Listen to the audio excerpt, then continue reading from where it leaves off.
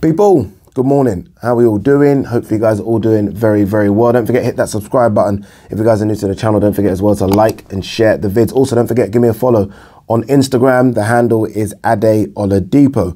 All right, peeps, let's talk about Tyson Fury versus Alexander Usyk. Undisputed heavyweight title fight that uh, should happen, I think could happen, and I actually think will happen maybe before the end of the year. I know that sounds crazy because we're at the end of August and we don't have many months left. But I think there is a good chance if both teams are talking and we're, you know, we're led to believe they are talking, I think there's a good chance this fight could happen in December. I really do. Um, and it needs to happen as well. We need to know who the number one heavyweight on the planet is. Now, I know a lot of you are going to be screaming at me now saying, Ade, the number one is Tyson Fury. And you could be right. I actually think he is the number one heavyweight on the planet. But, but, there will be some, if I asked 100 people, there would be a percentage that say Alexander Usyk. And that's why we need to determine who the number one is. For example, if I say to people, who is the number one 168 pounder on the planet right now, everyone will say Canelo. Everyone. Fact. If I said to people, who is the 147 king right now, it'll be split between Errol and Terence. Hence why we need to find out who number one is. This is my point. We need to know who is the real number one heavyweight on the planet. For Usyk to beat up Joshua back to back, he deserves to be up there. He deserve like this isn't a foregone conclusion that Tyson Fury is the number one when Usyk's just done what he done to AJ back to back. It isn't. It, it, it really isn't. Um, I think the fight will happen. Um, Bob Arum has come out and obviously he works alongside Frank Warren in promoting Tyson Fury and he says can happen. Uh, there are no roadblocks for it happening. Alexander Usyk's a free agent. He can go wherever he wants, which makes the deal a lot easier to make. So this fight could be on BT Sports. This fight could be on ESPN. Not a problem. You know, this isn't a DAZN issue. This isn't a Sky Sports issue. So look, half of the roadblocks have already been opened. They've parted ways. This is it now. There's, there's one straight road to it. Obviously, the most, I guess, the biggest issue here is money. Money's the biggest issue. Tyson Fury who, by the way, was retired um, in April or March, has come out now and said, look, in order to make this fight, I want half a billy. I want half a billion, I want 500 million. Now, he isn't going to get that, but I will tell you this now. The Saudis, and I think it's only going to be the Saudis, will offer him a lot of money. A lot of money. Um, honestly, it could be something again, half a billy stupid. I'm not even going to get anywhere near that, but it could be 70 to 80 million. Usyk could be the same amount of money. It could be. Um, and then this fight will happen. It will happen. Um, there's been some talk about Tyson Fury. Almost like some people in some circles have said he's scared of Usyk. Are you crazy? Tyson Fury, 20 stone, the Gypsy King, scared of what he calls a middleweight. Absolutely no chance. Tyson Fury will take this fight every single day of the week. It's just the money needs to be right for him because, look, he's a prize fighter and he's all about the Benjamins and he wants to get paid. Um, I, will say this though, having now been so lucky to watch Alexander Usyk up close, like literally, I am, I don't know, 10 feet away from the ring. Less than that. What am I talking? Yeah, no, about that. To see him up close and to see the movement, the accuracy, the the engine, and I say the engine like in capital letters there because Deontay Wilder spoke about his stamina. I'm like, is Wilder crazy? This guy doesn't fucking get tired. This Usyk doesn't get tired. I've, I've, I've seen it. I've seen him get hit with a body shot, clean, big, AJ, 18 stone. The guy still moves. So um, for me to see him up close and personal, I'll tell you this now. Tyson Fury has not fought anything like that. And some might say, okay, but Usyk hasn't fought anything like Tyson Fury. You are correct, which is why the fight's so fucking intriguing. But if Fury thinks that you know this is because um, he spoke about Usyk's weight, uh, which is by the way the same as Wilder's weight. Usyk is so much better than Deontay Wilder, and people might talk about Wilder's right hand. I get that. I get that. Usyk can smack a bit as well, by the way, but Usyk is so much better that the way in which Fury was able to walk uh, Wilder down, he ain't doing that to Usyk. He will get to him. He'll put his body on him. We know what Tyson Fury does, but he's not going to just walk him down because Usyk just won't be there. Like Fury will come and Usyk's gone. And then he'll get tagged. I'm telling you now, this, I don't want to say, this I think will be Fury's hardest fight. And I'm stuttering because obviously we saw what Wilder did to him. But mentally, this will be his hardest fight because he's going to be in there with someone that is, is going to find quite tricky to get to. I'm telling you now, this motherfucker is so difficult to get to. And when you even when you get to him, he's not he's not like he's fucking 12 stone. He's 16 and a half stone. He can hit a bit, Usyk. So I love it. Honestly, I love this fight. I really do. Um, I will never ever rule against Tyson Fury ever again. I, I did it for the Klitschko fight. I did it for the first Wilder fight, and even then I was like, oh, maybe Wilder underestimated him. I said Wilder again in the second fight. Never again. Never again. He just finds a way to win, and ultimately, as good as Usyk is, and I think he's the pound for pound number one.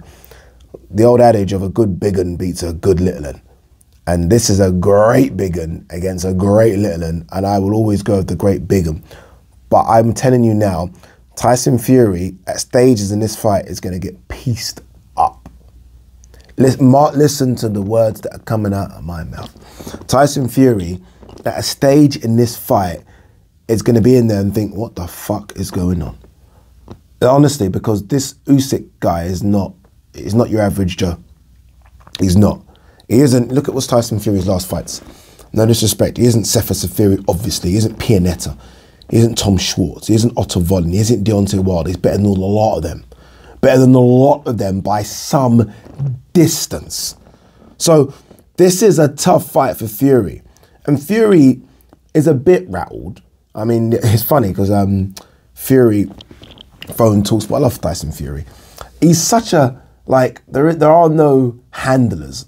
And this proves it. Tyson Fury phoned Talk Sport. He didn't just phone Talk Sport. He didn't have the number 21. He phoned reception. So it's not like Tyson Fury's manager. Yeah, Tyson Fury would like to get through to Talk Sport. No, no. Tyson Fury phone Talk Sport. All right, it's Tyson Fury. I can't do his voice. He's phoning reception, the reception desk we have. And she obviously was like, huh? Fury? Put him through. And he was on with Simon Jordan and Jim White. That's Fury. But um, he almost seemed angry at the notion that this little middleweight, and that's what he calls him, can beat him up. Hmm. For Usyk, again, look, I, I, I was lucky. What I was so lucky sometimes you, you sit back and think how lucky you are.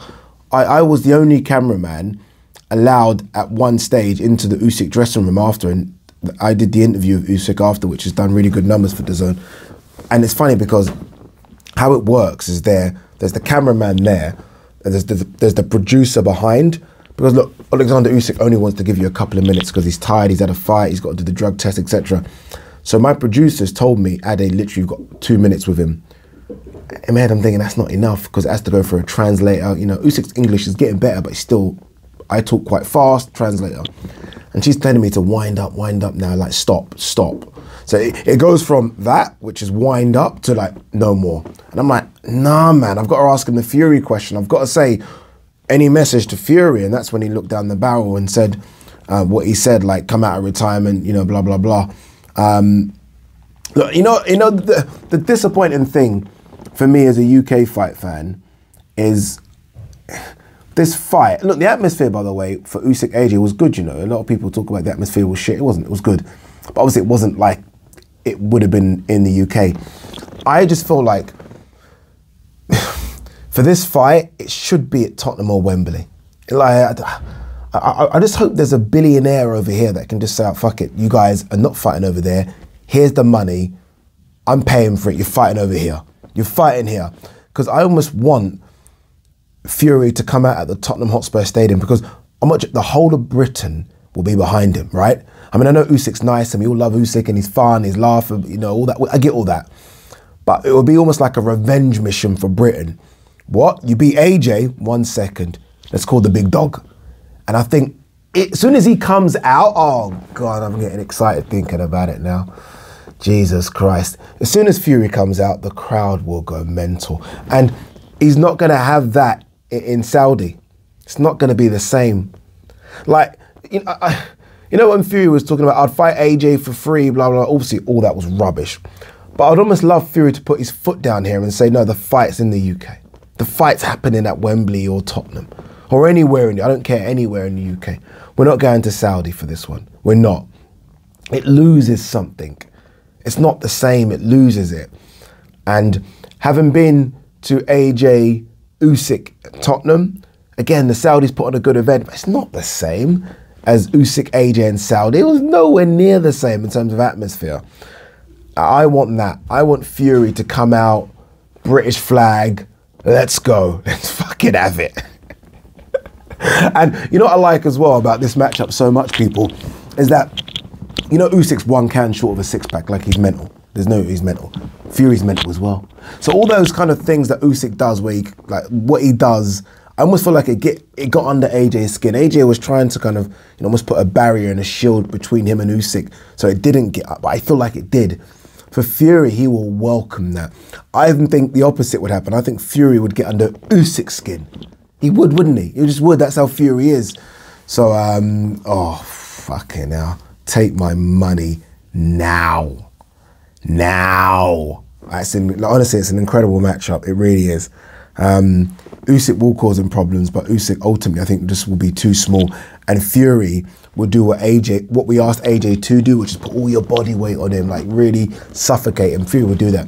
And also, Fury won't have the fear of having to take one to land one. Like he might have to go through the fire to land one. I almost feel like with AJ, it was like, do I trust my chin enough to take one? I think Fury think, fuck it.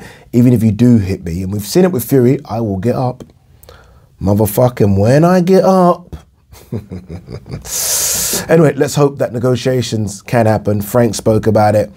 Be interesting to see what um, Usyk's team have said. They haven't really said much since the fight about it.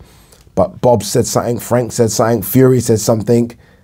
All down to you, Mr. Usyk. All down to you, whoever's going to bankroll this thing. But this will do good numbers. If this is in the UK, pay per view, I think this does a million buys. I think it does a million buys. I really do. Um, big numbers. And you know what? We'll end on this one. I am happy for Fury. Really am. That he's getting his money, he's getting his love. Because when this guy won all the belts, I don't know what his purse was for Vladimir Klitschko, but it would have been pathetic. And now look at him. Now look at him. It's incredible, isn't it? That now, I never thought he would be a star like this, really, if I'm honest. Um, and he is a star. He is a superstar. And he might be the one to stop this Ukrainian. He might, or as he calls him, the foreigner. Cheeky. Peace.